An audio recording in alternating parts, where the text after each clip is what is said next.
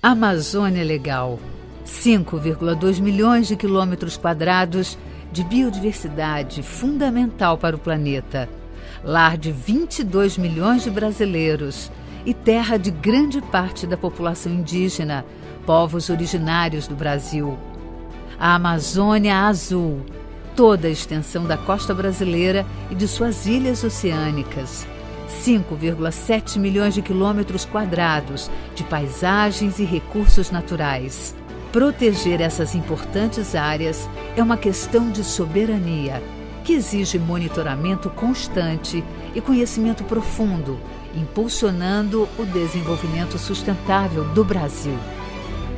O Sensipan, Centro Gestor e Operacional do Sistema de Proteção da Amazônia, órgão subordinado ao Ministério da Defesa, surgiu em 2002 para ser os olhos que guardam a Amazônia Legal brasileira.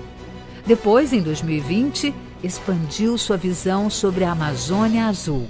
Satélites, aeronaves, radares, antenas e sensores são alguns dos modernos recursos tecnológicos que o Sensipan utiliza para produzir informações que alimentam todo o sistema de controle das regiões.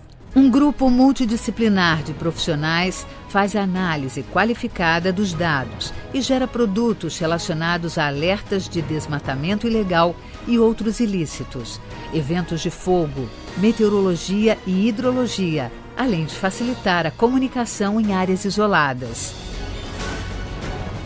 Com centros regionais estrategicamente situados em Manaus, Belém e Porto Velho, além do Centro de Coordenação Geral em Brasília, o Sensipan se consolida como produtor de conhecimento decisivo para a proteção, para a integração e para a promoção do desenvolvimento sustentável nos ambientes amazônico e marítimo brasileiros.